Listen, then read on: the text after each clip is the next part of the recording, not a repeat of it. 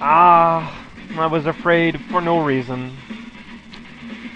How oft it happens that you go to bed and you turn off the light and then you get scared and then you realize it is not after all the boogeyman outside but merely some random sexual predator.